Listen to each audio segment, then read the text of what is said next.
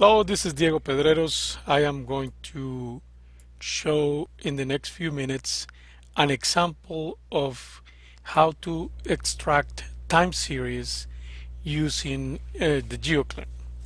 So we are going to use the temperature data. So let's take a look over here.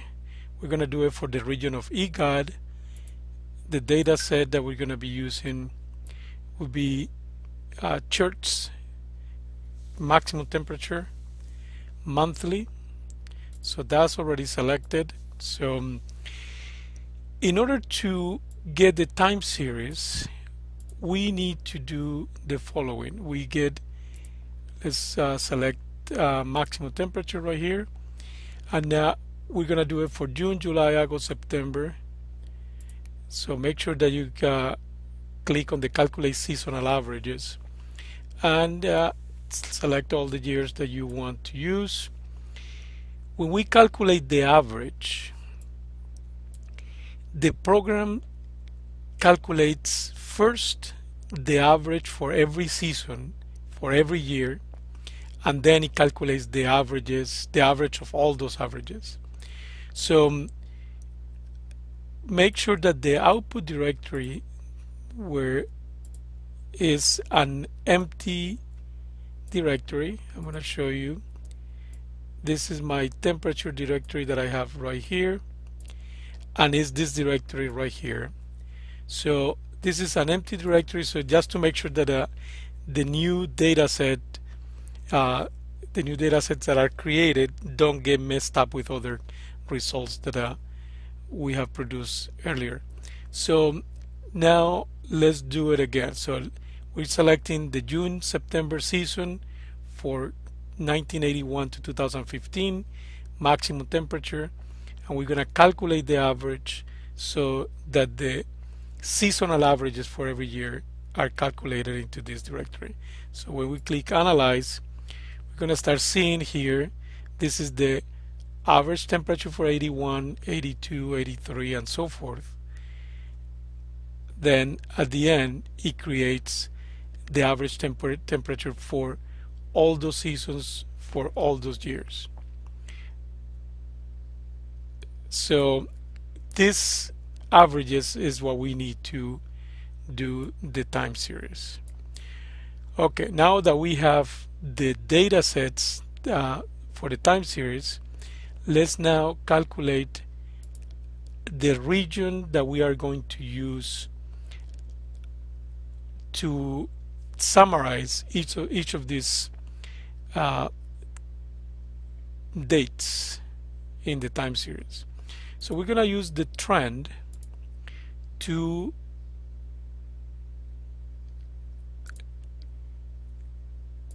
let's select output. So we're going to use the trend to give us a hotspot. So let's calculate the trend and based on the results from the trend we're going to select an area that uh, that we want to summarize okay? So this is the trend results.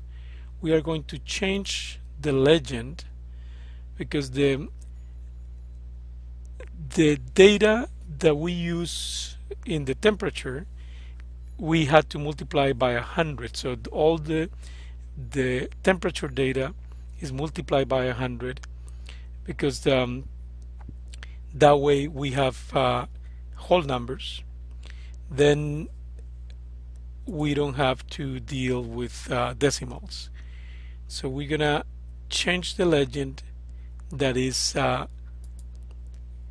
modified to deal with those numbers. So this is a legend that I created and uh, you can download it on the description of the video. I have it right here on my GeoClim help my colors. So this is the trend temperature times 100 that's uh, so this is a legend that is customized for these uh, values. So now let's take a look at what the trend results are telling us.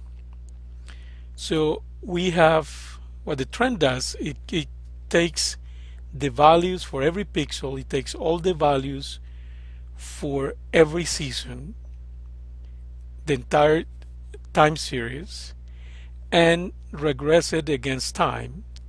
So what we are seeing here is the actual the slope of that line of the regression line.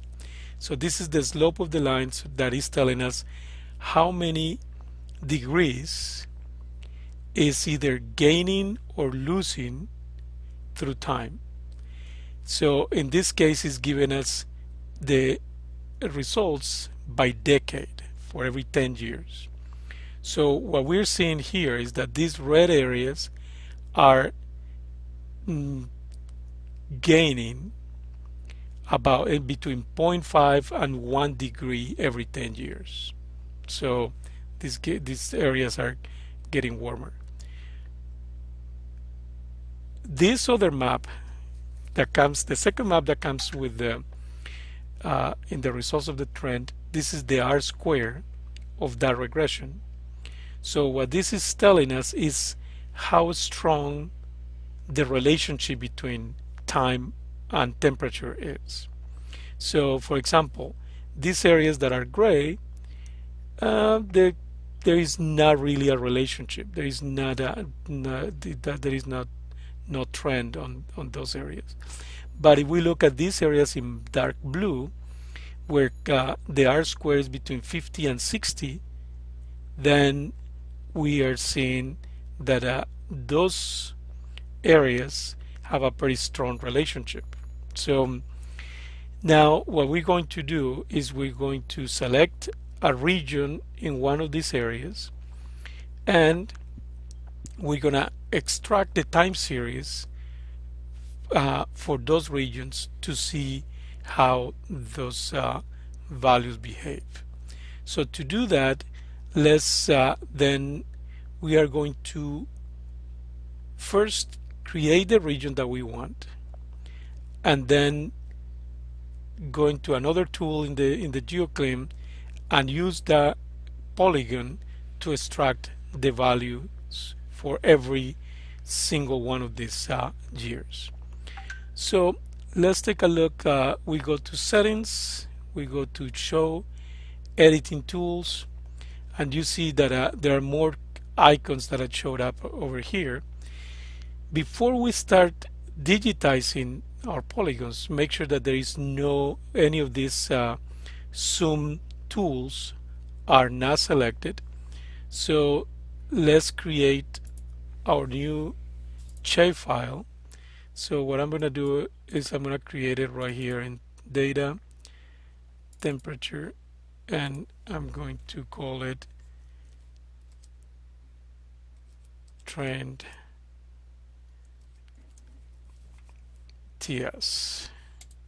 So that is the shapefile that we just that we're creating right now.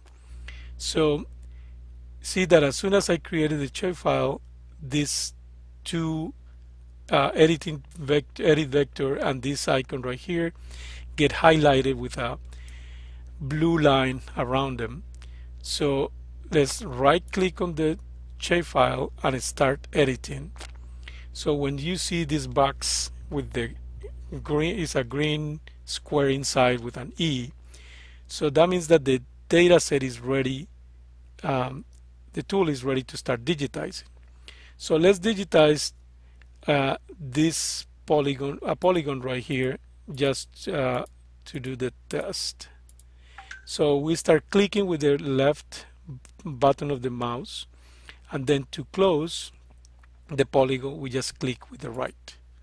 So we can create one right there we can create uh, another one right here where right click to close. Okay so we can create as many um, polygons as we want or we could use a shape file that already has polygons. Like for example we could use municipalities or um, uh, any kind of um, political boundaries that we want. And uh, now they are digitized. Now let's save them. Let's click right here on the save as shapefile. so it uh, asks us again for the name. Then we just click OK. So now that is saved right click again on the on the shapefile and stop editing so now we're done. We're done with the with the file. So now let's review everything we have. Let's close this. So now we have all the layers all the different every year we have a an average seasonal total seasonal uh, temperature for that uh, for every year and then now we have a file that is going to help us uh, extract the values for those for every one of these data sets. So now we go back to the GeoClim. Okay, in the GeoClim, let's click on the last icon, that's the extract statistics, and this window will open up. This one is going to ask us to enter the shapefile with the polygons that we created. So let's go and find that shapefile that is right here, trend TS.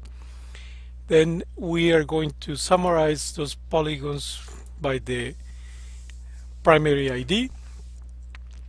And here we're going to enter all the layers that we want to summarize. In this case is our time series of uh, temperature. So let's go to the directory where we have those. Temperature. Then here they are organized from uh, 1981 all the way to 2015 so we click open and then they populate the that window. In this side we have the summary that we want. So we have all these statistics that we could uh, calculate for each polygon. For example, if we select average, we're going to have the spatial average for every of these, for every year uh, within that polygon. Or count, maximum, minimum, whichever we want, in this case, we're going to calculate the average. So we're going to have a single value for that polygon based on all the pixels that fall into it. Then here, uh, we don't do this load. We just uh, go into browse and we're going to mm, give a name for the table that we want as output. So um, let's call this one ts2 okay so that's it. We enter here the shapefile with the polygons and we enter here all the the layers of the raster data that we want to summarize. So let's click OK. And then uh, before we click OK this one is the table that uh, uh, is the output of the process. So now it's running. So let's uh, it gives us this on the on the notepad but uh, let's open this one with the um, with Excel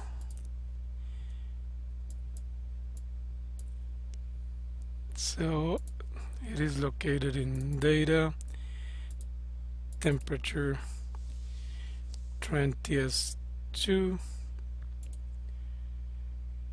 open with Excel. Okay so this is polygon 1 and polygon 2 this one right here has the 1981 June to September maximum temperature average. So what I do is we just give it a 1981 1982 and then we bring this all the way to the end to 2015 so we could uh, multiply I'm sorry we could divide these values by 100 since they originally were uh, so as the the degrees were multiplied by 100 so what this is telling us is that uh, in 1981 uh, there was no data for that polygon but in 1982 all the all the rest of the years we have data. So let's do this for polygon 1 let's plot it. So this is the time series for that polygon let's um, we see that there is some changes but let's uh, the trend line and see what is going on. So on polygon 1 you remember the polygon 1 is the one in uh, in Ethiopia. So polygon 1 shows a pretty good trend for temperature going up. So now let's take a look at polygon 2 and see how that goes. So this is the one in Somalia and uh, is uh, is pretty good. Very clear that there is a trend in temperature on that region. So that is how we go from uh, having the the raster data into and focusing in a in a specific region by uh, creating a, a, polygon and then uh, selecting the time series for that polygon.